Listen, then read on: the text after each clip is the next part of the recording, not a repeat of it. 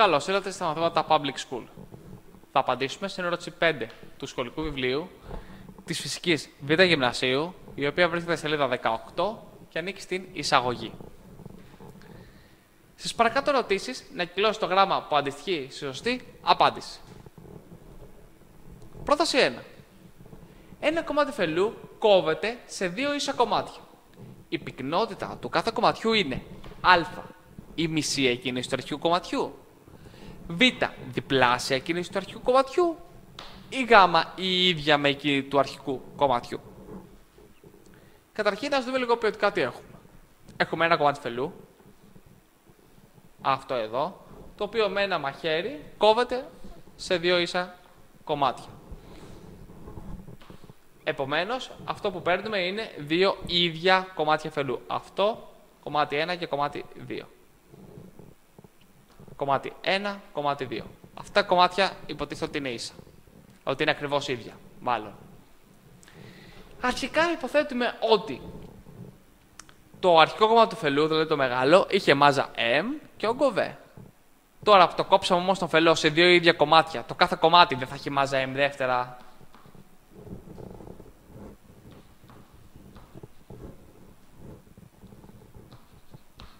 Και όγκο V δεύτερα. Έτσι δεν είναι. Εμείς όμως δεν θέλουμε να βρούμε ούτε τη μάζα ούτε τον όγκο του κάθε κομματιού. Εμείς θέλουμε να βρούμε την πυκνότητα του κάθε κομματιού. Ναι, αλλά η πυκνότητα ενός υλικού δεν γνωρίζουμε ότι, δεν γνωρίζουμε ότι δίνεται από τη σχέση ρ ίσον m δια v. Δηλαδή, η πυκνότητα ενός υλικού ε, ε, τη βρίσκουμε αν διαιρέσουμε τη μάζα του υλικού δια τον όγκο του υλικού. Τώρα, πάμε να υπολογίσουμε την πυκνότητα σε κάθε μία από τις περιπτώσεις του αρχικού κομματιού και του ε, και ενός από τα δύο κομμάτια συνέχεια. Γιατί όποιο από τα δύο κομμάτια υπολογίσουμε, σε όποιο από τα δύο κομμάτια μάλλον και να υπολογίσουμε την πυκνότητα σε συνέχεια, στην ουσία είναι το ίδιο. Αφού τα δύο κομμάτια είναι ίδια. Έτσι δεν είναι; Επομένως, ανοίγω μια νέα διαφάνεια και λέμε ότι στο αρχικό κομμάτι του φελού, το μεγάλο, η πυκνότητα είναι ρ ίσον m δια v. Όπου m είναι η αρχική μάζα του ε, φελού και Β ο αρχικός όγκος. Α το ξαγράψουμε καλύτερα αυτό να φαίνεται καλύτερα. Ρο ίσον M δια Β. Η αρχική λοιπόν πυκνότητα του φελού είναι αυτή εδώ. Πάμε τώρα να υπολογίσουμε την πυκνότητα του ενός κομματιού του φελού. Α υποθέσουμε τον πρώτο. Η πυκνότητα θα είναι ρ1 ίσον M1 δια V1. Έτσι δεν είναι; Όμως, όπως είδαμε από πίσω, M1 θα είναι M δεύτερα και V1 V δεύτερα. Έτσι δεν είναι. Άρα, M1 ίσον M δεύτερα και V1 ίσον V δεύτερα. Αν αντικαταστήσουμε το M1 και το V1 στην πρώτη σχέση, θα βρούμε ότι το ρ1, η πυκνότητα δηλαδή του κομματιού 1, M δεύτερα προς V δεύτερα. Εδώ έχουμε ένα σύνθετο κλάσμα πολλαπλασιάζουμε αυτά εδώ τα μέλη με αυτά εδώ, για να το κάνουμε απλό όπως γνωρίζουμε από τα μαθηματικά. Και έχουμε ότι ρ1 ίσον 2m δια 2v. Τα δύο απλοποιούνται και έχουμε ότι το ρ1 ίσον m, m σβήσουμε εδώ πέρα γιατί δεν γράφτηκε καλά. Ρ1 λοιπόν ίσον με m διαβέ. Αλλά το M διαβέ είναι το αρχικό ρο. Δηλαδή ρο 1 ίσον ρο.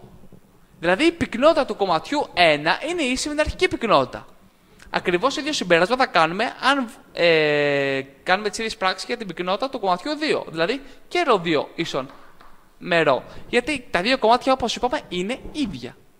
Επομένως, η σωστή απάντηση είναι η γάμα. Η πυκνότητα του κάθε κομματιού είναι η ίδια με εκείνη του αρχικού κομματιού. Άρα, εδώ κυκλώνουμε το γάμα. Πάμε τώρα να απαντήσουμε στο δεύτερο ερώτημα.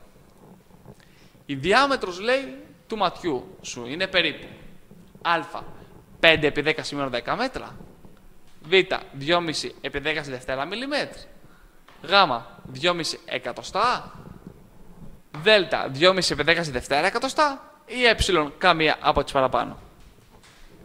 Καταρχήν γίνεται κατανοητό ότι εδώ δεν μπορούμε να έχουμε ακριβή απάντηση.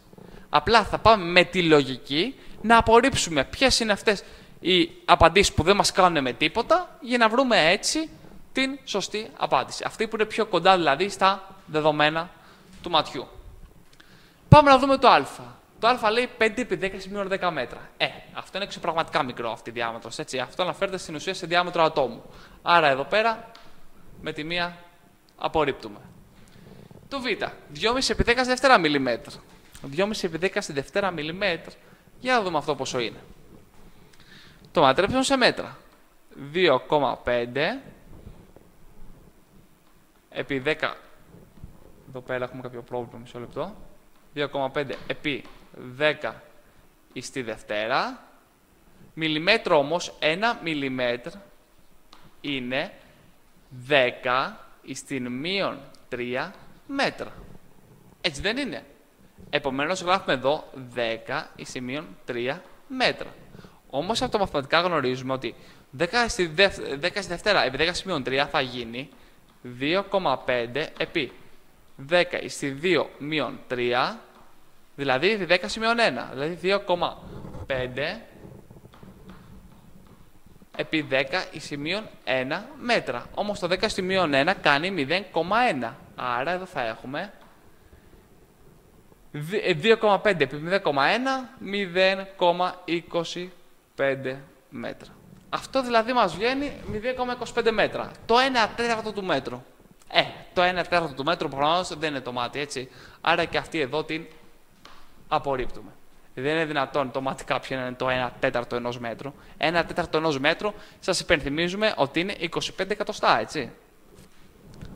Τώρα, γάμα, 2,5 εκατοστά. Αυτό μοιάζει πολύ λογικό. Αλλά πριν το κυκλώσουμε, ας δούμε τυπικά και τα υπόλοιπα. 2,5 επί 10 στη Δευτέρα σαντιμέτρ. Αυτό είναι 2,5 επί 100 στην ουσία. Δηλαδή 2,5 επί 100 σαντιμέτρ. Δηλαδή 250 σαντιμέτρ. Ε, 250 cm είναι εξωπραγματικός αριθμός. Πάλι πολύ μεγάλος γεμάτι, άρα γι' αυτό απορρίπτεται. Το ε δεν υπάρχει λόγος να το βάλουμε από τη στιγμή που έχουμε το γ, που είναι πολύ κοντά στα δεδομένα του ματιού. Επομένως, η διάμετρος του ματιού είναι 2,5 cm. Άρα, σωστό είναι το γ. Συνεχίζουμε τώρα και στην τελευταία ερώτηση που τη λέει ότι ένα 24ωρο έχει περίπου α 864 επί 10 Δευτέρα σεκόντ. Β. 8640 σεκόντ. Γ. 1,44 επί 10 στην τρίτη σεκόντ. Δ. 9 επί 10 στην τετάρτη σεκόντ. Ή ε καμία από τις παραπάνω. Εδώ πέρα δεν είναι ανάγκη ούτε γίνεται κιόλας να απαντήσουμε ποιοτικά. Επομένως, αυτό που θα κάνουμε θα είναι να υπολογίσουμε το 1,24 δηλαδή μία μέρα πόσα δευτερόλεπτα έχει. Θα ξεκινήσουμε με τα πολύ απλά πράγματα και ας πούμε ότι το ένα λεπτό έχει 60 δευτερόλεπτα. Κάτι που είναι γνωστό σε όλους. Τώρα, μία ώρα είναι 60 λεπτά. Έτσι δεν είναι; Άρα μία ώρα πόσα δευτερόλεπτα έχει; Έχουμε λοιπόν ένα, ένα λεπτό. 60 σεκόντ. 60 λεπτά. Πόσο, άμα κάνουμε το χιαστή, θα μας βγει ότι τα 60 λεπτά, δηλαδή η μία ώρα, έχουν 60 επί 60, 3.600 σεκόντ καθώς έχουμε, ας το κάνουμε μάλλον αναλυτικά για να μην μπερδευτούν κάποιοι,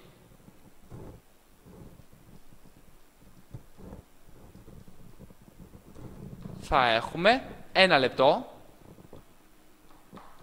επί χ ίσον 60 λεπτά επί 60 σεκόντ. Έτσι δεν είναι; Τα λεπτά με τα λεπτά εδώ απλοποιούνται, βρίσκονται και στα δύο μέλη και πολύ απλά μένει ότι το χ είναι 60 επί 60 σεκόντ ίσον 3.600 σεκόντ. Για να μην υπάρχουν παραξηγήσεις λοιπόν και να μην μπερδευτεί κανένας.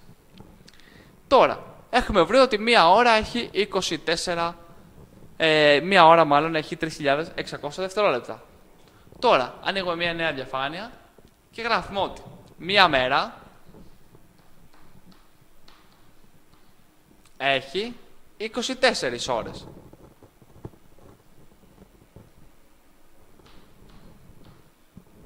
Αυτό καλύτερα. 24 ώρες.